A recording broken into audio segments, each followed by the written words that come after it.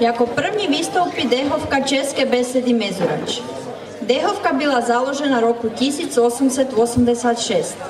Dirigent dehovky je pán Josip Ferenčákovič, vedoucí pán Josef Král a pán Davor Živanovič. Dnes nám zahrají několika písní ze svého bohatého repertoáru. Herz, Merz, Polka, Rúže sú crvené a Dixieland for Band. Kao prva skupina predstavit će nam se puhački orkestar Češke besede Međurić. Osnovan je davne 1886. godine i neprestano djeluje do danas. Dirigent je gospodin Josip Ferenčaković, a voditelji Josip Kralj i Davor Živanović. Večeras će vam se predstaviti sa nekoliko pjesama. Herc, Šmerc, Polka, Ruže su crvene i Dixieland for Band.